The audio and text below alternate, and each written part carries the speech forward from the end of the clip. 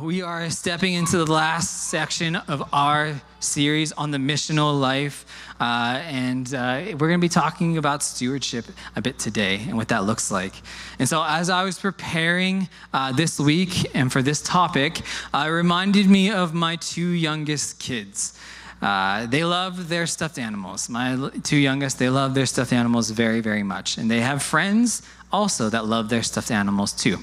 And so there are times, you know, when they get a stuffed animal from their friend to look after, uh, and they absolutely love this stuffed animal that they get to look after. And so their friend will pass them a stuffed animal, they get to look after it. And so this stuffed animal becomes the most important stuffed animal in the world. And it becomes the most important thing in the world to them at that moment, too. It's even more important than mom and dad. They care more about this stuffed animal they received from their friend than they do about their mom or dad. And so, all their stuffed animals, maybe that they've even owned, uh, they become unimportant to them. It's like, oh, whatever. You know, they got this swath of stuffed animals on their bed, but this one that they got from their friend to look after, it's so important to them. And so this stuffed animal never leaves their sight. Wrapped in a blanket. You know, it's taken for walks. It receives the best care. Therefore, the rest of the house doesn't get any care from them. And so their rooms look like trash, but that stuffed animal is pristine. And so it looks like it is brand spanking new. And so at some point, though, they give that stuffed animal back to their friend. And they tell stories of what they did with that stuffed animal to their friend and who it hung out with. You know what? Usually the stuffed animal then has a friend that goes back with the, you know what, the one that they get they were looking after. And as I thought about this sequence of events, the question that went through my mind was why do they care so much about this stuffed animal that isn't even theirs? Why do they care? Like, this is unbelievable to me. Uh, and so they go above and beyond to look after it. And in my mind, I'm thinking, listen, let's just like, just don't wreck it. The goal number one. And so keep it in a corner, put it in your drawer, I don't know, and like um, bury it in the backyard, and then we'll take it out, hang on, once it's time to go back. Uh, and then we'll give it back in a week. But they show the stuffed animal like a good time with providing it optimal care. They, again, they're showing other friends, they're telling them about the stuffed animal. And so why do this? Why do they do this if it's not even theirs? Why? Why do they do this? And the reason they care so much is because of the person who gave it to them. They care deeply about this stuffed animal because they were entrusted with it by a close friend, by somebody, and it's like you know, it shows a friendship too. It's like, wow, you're giving me a stuffed animal. You're trusting me with this. We must be best friends then. And so they recognize the person who gave them this stuffed animal. It's important to them. It's important to them. And they want to utilize and show that care for the person by how they treat uh, what their friend gave to them. They're showing actually care to their friend by how they're treating the stuffed animal. And so I believe this story exemplifies this topic of stewardship and giving. See, a good theology of stewardship begins with the premise that everything uh, belongs to God. All that we are, all that we have, all that there is belongs to Him. And so, this is how my kids treat their friends' stuffed animals. It's like, wow, you've given this to me, you've entrusted me this, with this. Belongs to you. Well, I'm going to treat this really well, and I'm going to do good things with this.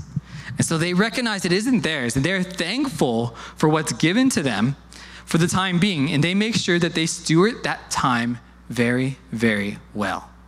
The time that they have with that stuffed animal, they steward well, they look after it.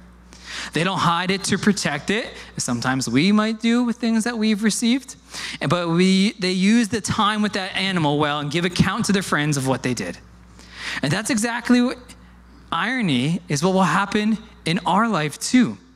Jesus has given us resources. He's given us time. He's given us money. He's given us things that He's entrusted us with.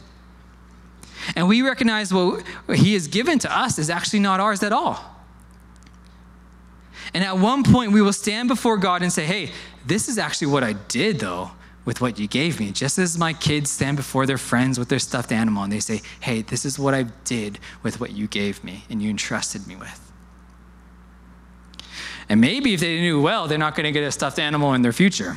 You know, it's like, wow, you took off its ear and its leg. And so it's like, well, you're never seeing a stuffed animal again. So We either hide it though, or we use it for ourselves, whatever we're given. Or we maximize what was given to us, realizing what was given to us isn't ours. It's not ours, what we've been given. And we give account to Jesus, saying, This is what I did with what you gave me.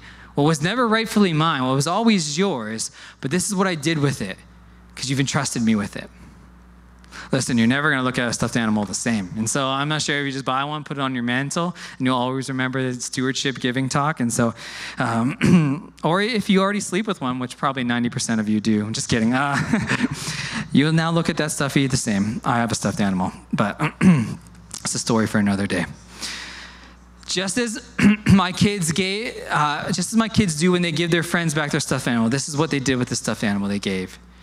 This is what we're going to do with Jesus not stuffed animals, but with our life. And while this sounds obvious, it's exactly the opposite of what the world would have us believe. See, according to the world, what I have has nothing to do with God. It's mine. I earned it. I bought it. I paid for it. I own it. Even if it was given to me or I inherited it, it's still mine, and I will see and do what I see fit with it. And as far as the world is concerned, I can do anything I want that belongs to me as long as it doesn't hurt somebody else. I can hoard it or share it, save it or spend it, invest it or give it away. It doesn't matter. It's entirely up to me. Now, this is how contrary that thought is to how the Bible teaches us on how we're supposed to live. According to the Bible, it says this the earth is Yahweh's with its fullness, the world, and those who dwell there within. It also says this the silver is mine and the gold is mine, says Yahweh's of armies in Haggai 2 8. And it even says, For every animal of the forest is mine and the living livestock on a thousand hills. It's mine in Psalms 50 10. Now, have you ever taken inventory of all your possessions? You might call it spring cleaning. I'm not sure, however, it looks in your house. Every year we find ourselves going through the great purge in our home. And so where we walk around, we look, what do we need? Like, how does this room look like this? It's usually Jude's room that's like, wow, he should be on an episode of Hoarders. And so. and so we have to go in there and you know he's crying we have to take things away and so but what what do we need and what don't we need is the question, really. And every year I'm amazed by what we accumulate in our home. Like, how do I have all this stuff in my house? Like, what's going on? And it's amazing over all this time how abstract those things are. How actually sometimes those things don't even mean anything. I, why do I even have this? And there's other things that you know that are more abstract, like stocks and investments and bank accounts. You know that we look at and stuff like that. But two things run through my mind during this time. Listen, I, I only need to purchase what we actually need. And all that I actually have here, I actually need to do some changing here. But how can I use it uh, for the kingdom of God better? Because it's not God, it's, it's not mine, it's God's. We need a constant understanding that I'm a steward, I'm not an owner. I'm a steward, I'm not an owner. And there's so much in scripture that reminds us of this. It says in Job 41 11, everything under heaven belongs to me. In 1 Corinthians 10 26, the earth is the Lord's and everything in it. And it says this in Leviticus 25 23, the land must not be sold permanently because the land is mine, and you reside in my land as foreigners and strangers. See, God still retains the title deed of everything, it is all still His. And those who live in the lands, we do so as tenants to this land. This isn't our home space, but this is God's. He's created it, He's entrusted it with us. How are we going to look after it? How are we going to steward this life well? And when they failed to steward it as He wished, He took things away from them. Now, I've got kids, I've got some teenagers, and so we got a couple teenagers now that one in particular who is very good at just leaving clothes on the floor after he changes. And so, and you know, we've talked about this. Hey, listen, you can't be doing this. Like, the, it needs to look better. You know, people walk by, they see the room and stuff like that. Listen, we're gonna take it all if you don't do anything about that. So, you've ever had that happen to you? Have your parents ever taken anything away from your room? At one point, my dad was throwing things out of my brother's room, and so he was like, "You're keeping it a mess. You don't need this anymore." Literally, I had to walk, you know, and put my body up against, you know, at the stairwell as a dresser came flying down. And so, um, but we're now in this space where, like, listen, you're not stewarding what's been given to you well. And so I'm taking your clothes. And so we took his clothes, we put it into our room. He was left with, you know what, just, you know what, a very tight shirt and some old shorts that he had to had to wear for a day. And we're like, listen, I'm glad that you're thin. And so like you're just gonna have to wear this. And so we took it because we just remind him, listen, this has been given to you. This is what we've asked. You're not looking after this well. This is a reminder. You need to take af- look after yourself, steward what has been given to you well, and look after the clothes that we have given you, what we've bought you. Put them away. Put them in the laundry hamper. This is so. This is a principle that we teach as parents. Listen, if you're not looking after something, we're going to have to take it. Now, and God reminds us of this. He says, You are not your own, you are bought at a price which means that we are his servants. This life that we've been given, we've been given to serve and to steward well. It's later in Luke's gospel that Jesus encountered another wealthy man. He encounters a wealthy man who he called the rich young ruler. And so this rich young ruler had great possessions. He wanted to follow Jesus, but then Jesus gave him some things that he had to do. And he was like, That's actually too much for me to do. I cannot do that. His great possessions were the barrier for him to follow Jesus. Kent Hughes, he says this How we handle our money has everything to do with how we orient on Jesus. The rich young ruler chose his wealth over Jesus, but for a man named Zacchaeus, meeting the Messiah loosened his hold on his material possessions. And this is the story of Zacchaeus. Luke 19:8, Zacchaeus stood up and said to the Lord, "Lord, look, here and now I give half of my possessions to the poor, and if I have cheated anybody out of anything, I will pay back four times the amount." Zacchaeus experienced Jesus, experienced the life that Jesus has called him to live, and said, This is what I am asking of you. Experience freedom that the Jesus gave. And he says, I orient everything in my life unto you now. And here's the keys to saying, Listen, if I've ripped anybody off, I'll pay them back four times more. And here the rich young ruler is like, Jesus asking him to do one small thing, and he just can't do it. There's a very intentional theology of generosity in the Gospel of Luke. And the point is this is that generosity is a sign of a regenerate soul, of somebody who's saying, Hey, something's changed within my heart. And Zacchaeus, he experienced this and he modeled it for us. And as Christians, our grip should loosen on material things and should be tight on Christ. And we should see that all that we have as a resource to be used by Jesus and to be given unto him, to be given back to him.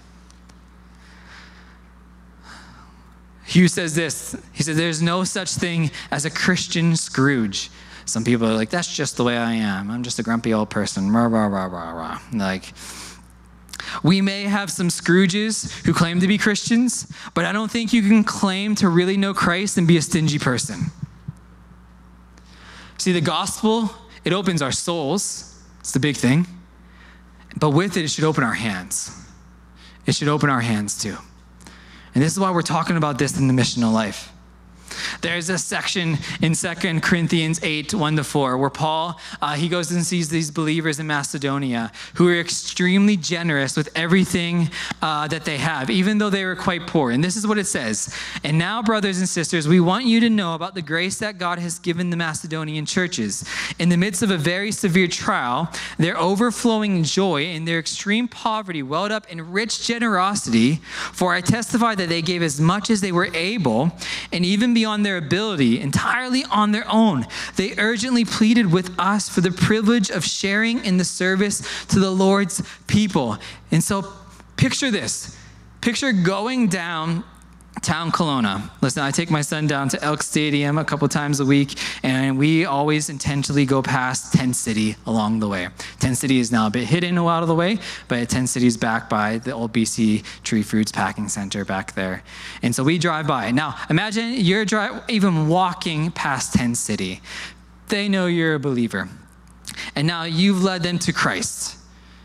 And so They've accepted him. They're so impacted by what they've received in the message of Jesus that they know that they are meant to give. And say, they say this to you listen, I don't have much, but take what I have and give it to somebody who needs it more than me.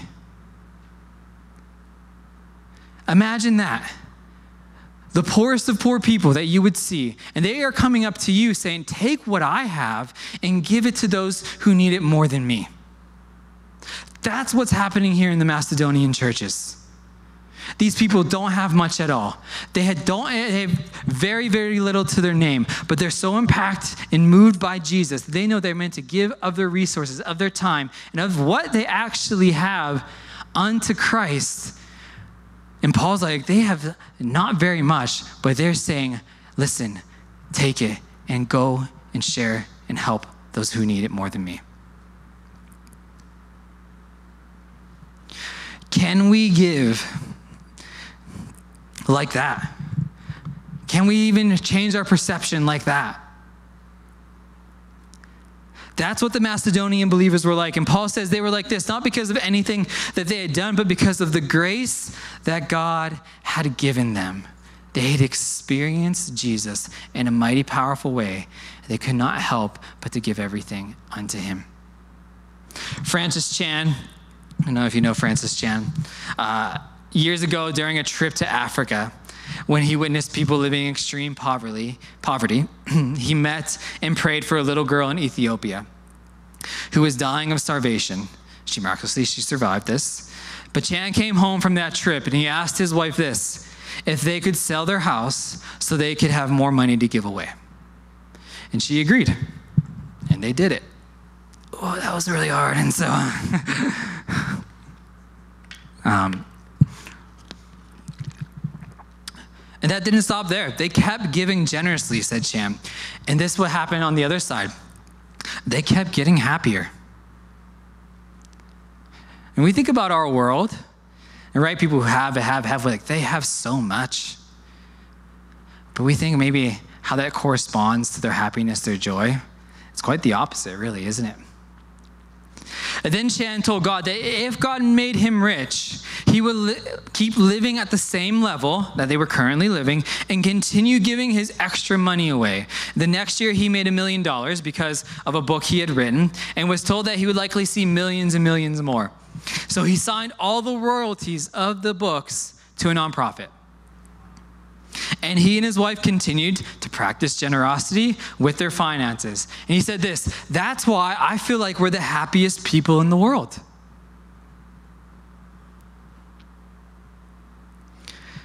Totally change on how he stewarded the things that we had. Listen, they're not ours. We can't take them to heaven. Whatever, as our bank account rises, great, but it's not going in with you to heaven. It gets lower, amen. That's where I'm at. Four kids, hallelujah. It's uh, it's going to continue. Doesn't matter. I'm investing. We're investing.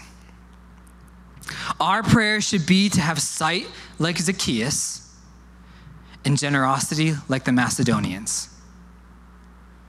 To see like Zacchaeus does helping those in need, and to have the generosity of the Macedonians. Even though I don't have much, I give it all.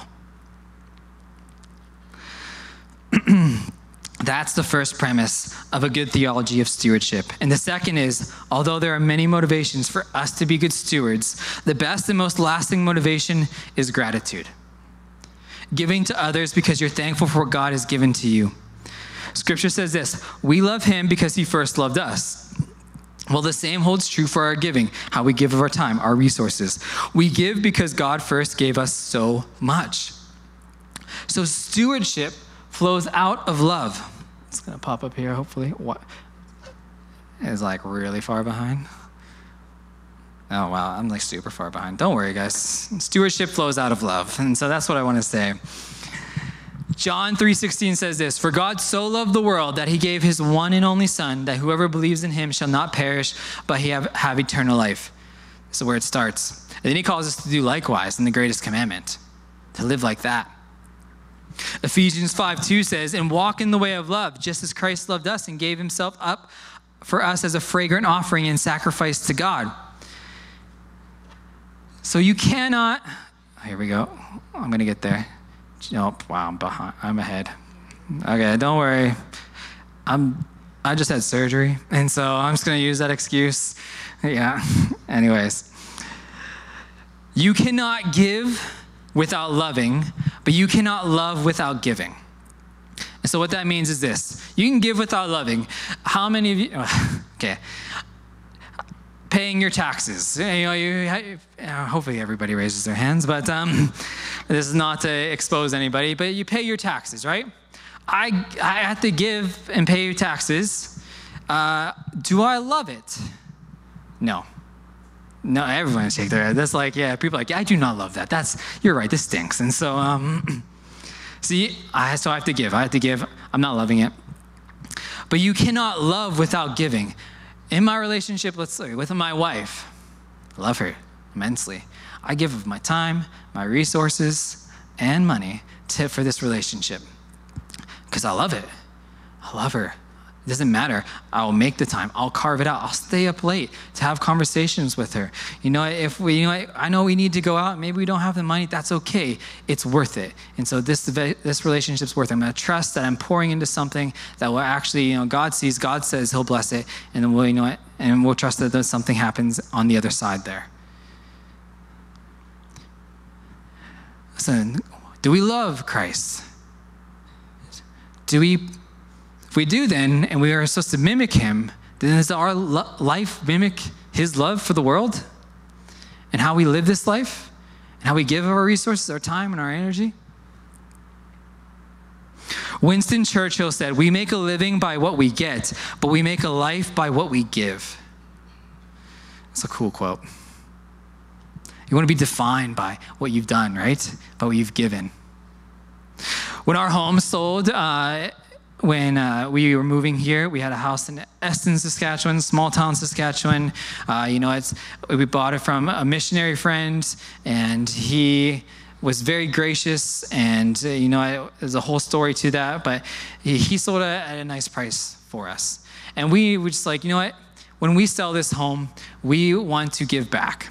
We just want to give back. We, because you know, we were blessed, we want to bless back into, you know what, uh, whatever is next after this home, after we sell it. So we put money into it, we fixed it up, and you know, we made a good equity out of it. So it came time though. The call was for us to come to Lake Country, Saskatchewan. Saskatchewan. there's no Lake Country, Saskatchewan, so it's not. There's one lake, and so um, yeah, Kim said they have the most likes, so they're not as nice. But anyways, this isn't about Saskatchewan versus BC. um, Lake Country, which at that time was the fastest growing whatever place in Canada and for purchasing homes and stuff like that. And so we moved here, taking the step. We didn't have a home. And so we, our home didn't even sell actually when we came here. And uh, we knew we were supposed to come here. So we came, got a rental, and then our home sold. And then there was a window where we had to buy a home, but then also, uh, yeah, buy a home, which is really a big thing. And so, and so here we are, we have this money. And you know what? We could have been like, I need to hoard this money because I have to, I'm looking at the markets, I'm afraid you know, a little bit like scared. You know, I can't sleep at night. Lots of sweat happening, and so like Kim and I just staring at each other because we don't know what to say sometimes because we're a bit nervous about the market and what's going to take place. We're thinking, where are we going to live? We don't know. And you know what? We still knew we had to give though. And so we still earmarked and we gave a portion of that money to a nonprofit, to a missions organization, actually. And we trusted God. And listen, it worked out. Found a home. You know, we've been there for five years, and you know what? It was a, another amazing opportunity and deal God looked after. There's a story behind that. But listen, if we continue to choose to steward things well and to invest well into the kingdom of God, I guarantee that He'll look after you, just as He looked after us. Proverbs 11, 25 says this, a generous person will prosper. Whoever refreshes others will be refreshed. Acts 20, 35 says this, it is more blessed to give than to receive. And we as Christians, and I've said this before, we as Christians and as the church want to be known as the most generous people on the planet. if they're like, those people are the most generous, those people are the most generous, and no, we don't talk, don't talk about Christians, we've done something wrong. We need to be known as the most generous, giving, heartfelt people. See, the heart of Christ's mission was putting others first, and the heart of generosity is about thinking about others before yourself. And so Jesus is the model for Jesus' generosity is the model for our own. His generosity is the model that we are meant to live by. And he's the map on how we're meant to live. This is what it means to live a gospel centered life, a missional life. I put first what's most important to Jesus over than what I think is the most important. All of a Christian's life is lived in response to the gospel. 2 Corinthians 8 9, where Paul gives, you know what, that's the most extensive uh, instruction on generosity. He tells the Corinthian believers that ultimately they should think about how much Jesus has given up for them, and then they should respond accordingly. He's like, that's the level. So think about what Jesus did for you. If you're, you know, really wondering, like, what should I do? How should I live my life? What should I give? And think about Christ as your, your mark. And then whatever you think about him, that should be the way that you respond in your generosity and, and the way you live your life. 2 Corinthians 8 9, for you know the grace of Lord Jesus Christ, that though he was rich, yet for your sake he became poor, so that you by his poverty might become rich. He didn't merely give a portion of his life, he gave 100% of his life. And that is our responsibility too. Not just a portion, not just 10% and go about our own ways, but to offer 100% back to him. So, where would you be without Jesus? I got a good answer. At exactly the same place people in this world, or maybe without you. See, people can't be saved until they hear about the gospel. And it's only through our stewardship of our time, generosity, giving, and going that people can hear about it. And this is the principle of you reap what you sow. This is just not, you know, a principle that people have said throughout the world, but this is a biblical principle reaping and sowing. You've seen Rocky 3? You've seen Rocky 3? Rocky, he's become the world champ. You know, he's beaten Apollo Creed. He has started to enjoy a pretty lavish lifestyle, you know, because he's pretty cool. He's pretty popular now. Meanwhile, there's this new star in the background, Clubber Lang, Mr. T, probably the coolest guy ever to walk the planet Earth next to Jesus. Uh, and so, but Clubber, he's mean, he's hungry.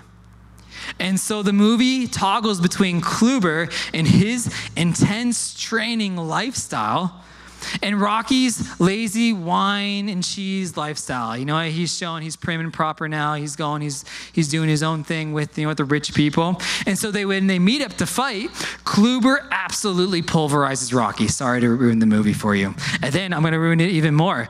Mickey dies, and so uh, the trainer dies. And so no one can figure out why he got you know totally pulverized. But movie watchers, they know why.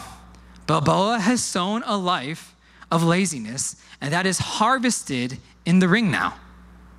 He was in training. Clubber's putting in the time. He's investing. He's sowing. And he's going to reap what he's sown. And then, of course, the rest of the movie goes on. Rocky trains hard, does his one arm push ups, drinks his eggs raw, and stuff like that. And it illustrates this important principle you always reap what you sow. And Paul talks about this in Galatians taking a test without studying. I, this, I came home one time really upset, showed with, and I said, Mom, like, hey, I failed this test. And she was like, What happened? And I said, Listen, I don't know what happened. She said, I trusted in God that I would do a good job. I was practicing what you teach me, Mom. And so um, I was exercising my faith in Him that He would help me, help me remember, you know, what the stuff that was said in class and blah, blah, blah, whatnot. And then she asked me, Jeremy, did you study? And I was like, Well, no. Like, I mean, I'm, I'm beautiful and awesome. And so, like, I don't need to study. And I just said, I just trusted Jesus would take the wheel and he would look after me. I literally said that before the song came out. And so um, I said he would guide my hand to the right box and open my mind to remember the lectures, even though I didn't really pay to the, attention to them, but maybe in my subconscious, Jesus would unlock something. And I was trusting in that with him. And then she began to talk to me hey, listen, Jeremy, you're only going to put out what you put in. Are you only going to get out what you put in? That you will reap what you sow. And if you study, you will for sure do better than when you don't study. And so Galatians 6, 7, 9, it talks about this. It says, Do not be deceived. God cannot be mocked. A man reaps what he sows. Whoever sows to their flesh, uh, to please their flesh, from the flesh will reap destruction. Whoever sows to please the Spirit from the Spirit will reap eternal life. Let us not become weary in doing good, for at the proper time we will reap a harvest if we do not give up. Now, at first, it sounds like Paul is contradicting what he has taught us everywhere else in Galatians. You know what? Paul has taught us that the gospel is, you know, that God gives us not what we deserve, but righteousness that Christ earned for us, that he gives us as a gift, all throughout Galatians. That's what Paul talks about. But then almost here, it feels like he's introducing a principle of karma at the end. That the good you will do will come back on you. And so, so go, so, so it's not like he's saying now, so good karma, so so good karma, so you can reap good karma later. But that's the wrong way to read this. Paul is simply reminding us that we all know to be true a principle God has built into the very fabric of the whole universe what you sow, you will reap.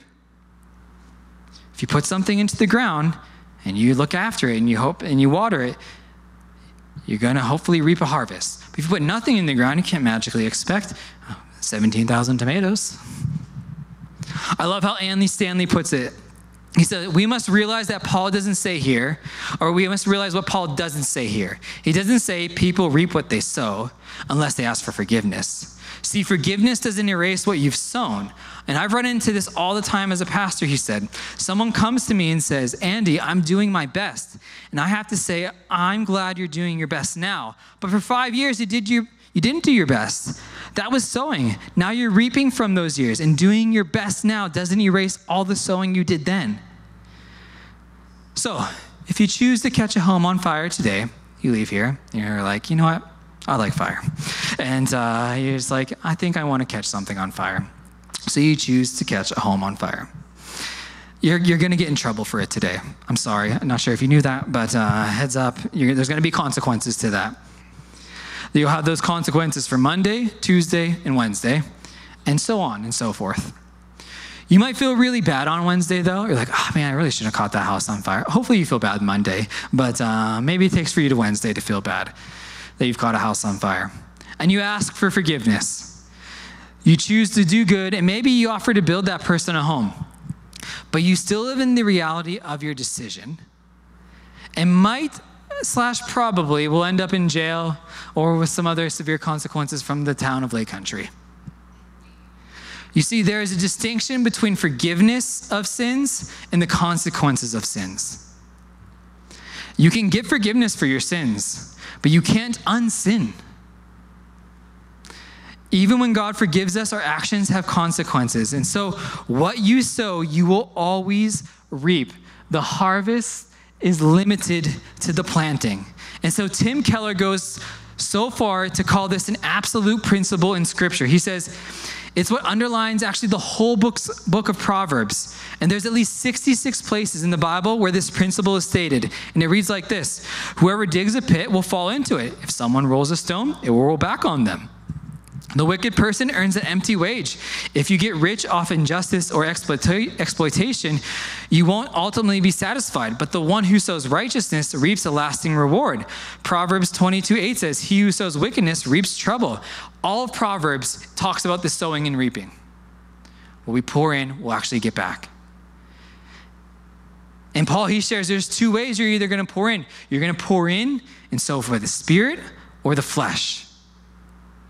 Sowing by the Spirit means living generously and giving generously of your time, your resources, and your effort. Sowing in the flesh means that you give to the desires of your body more than you give to the Spirit. You can only harvest what you plant. God wants to, we want God to make something happen, and listen, He can. We're not limiting Him.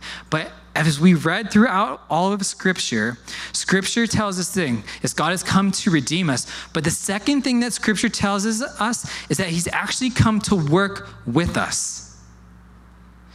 He's come to work with us. You see it all throughout the Old Testament and you see it in the New Testament. He doesn't call us to be on our own, but He calls us, He wants to work with us. He wants to partner with us. Of course, He can do it. He's God. But He chooses to use us still and to be with us and to have us part of the journey.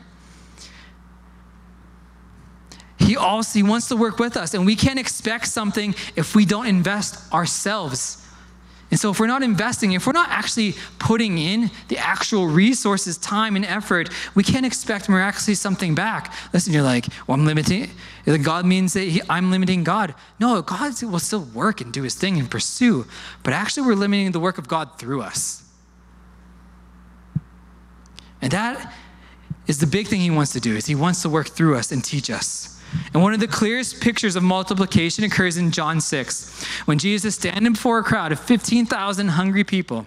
And Philip, he says this that 2,000 denarii is what it actually would take to feed all these people, which is a six month wage, right? That's how much they would need to feed all those people, to buy the food to feed these people. And on top of that, even if they had all that money, there wasn't even enough resources laying around for them to do it, to buy that much bread so he takes a little boy's lunch, five loaves and two fish, a Hebrew happy meal, let's we'll call it that. so a Levitical lunchable for those who like lunchables. And so, and Jesus took it, he blessed it, and he distributed to the, th- the disciples. And they gave it away, John explains. It multiplied to the point where there wasn't even enough food to feed every person in the crowd until they were full and even at that moment, they had enough. They had leftovers 12 baskets overflowing. There's two things you should take away from that. It can only be multiplied if it is blessed. And that blessing occurs when you actually place it into the hands of Jesus. Listen, if you got a business or even in your own personal financial life, if you're like, Jesus, I give my business, my life unto you, and you're just trusting Him to do something to work, great, great space to be. But there actually has to be a physical contribution to that. There has to be. Words are great, and I tell my kids words are great all the time. Listen, I want you to say sorry. I want you to tell me you love me. But what speaks louder to me is when you show it to me.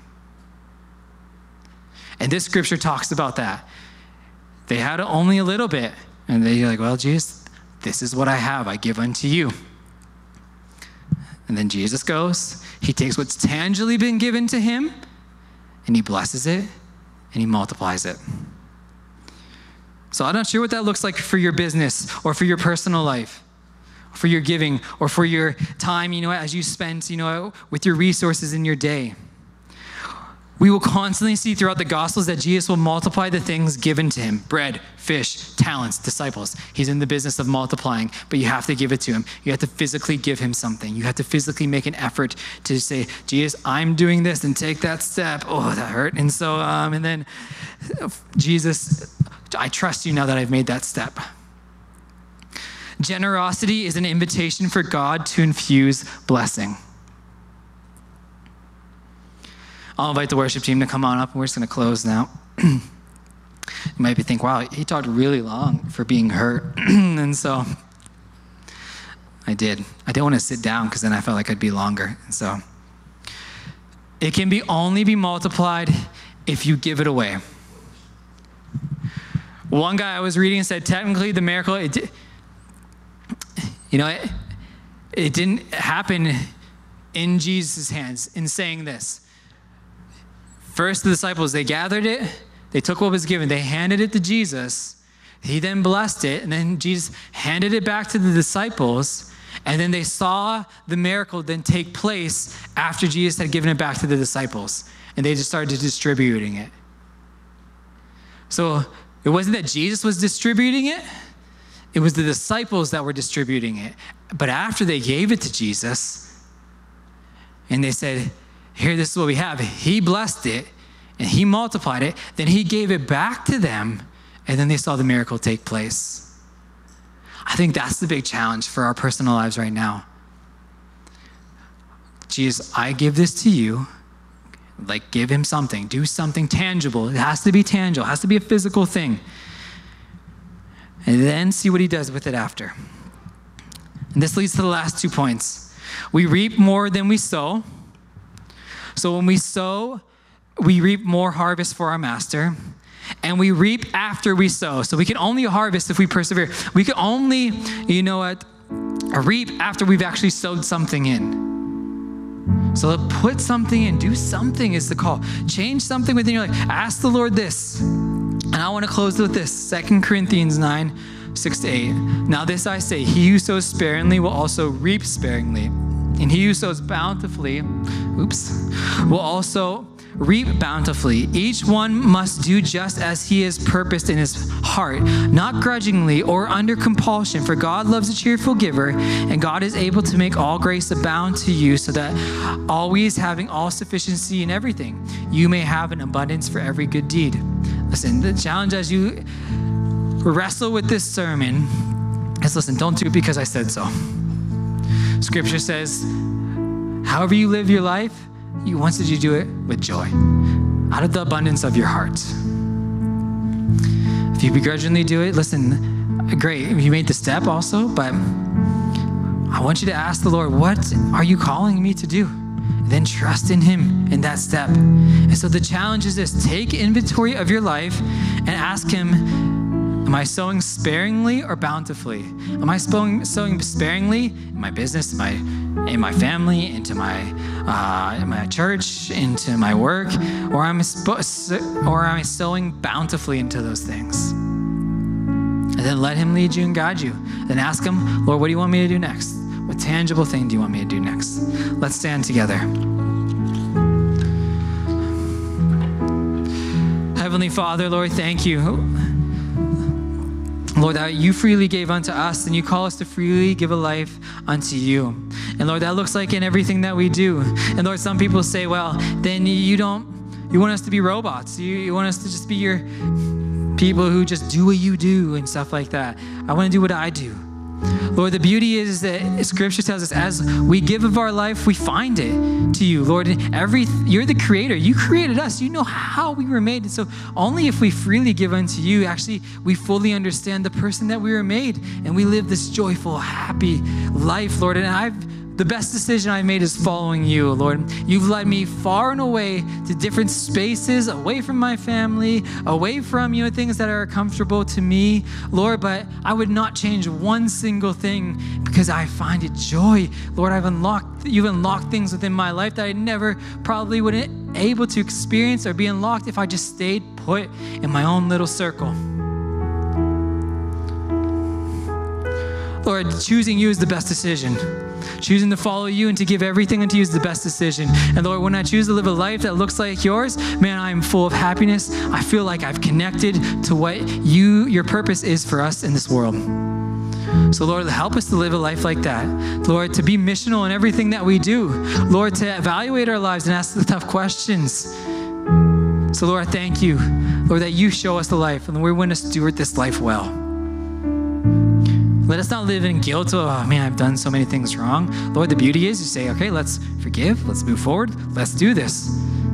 Lord, you uh, want us to continue moving forward with you. So we thank you, Lord, that you love us and you care. In your name,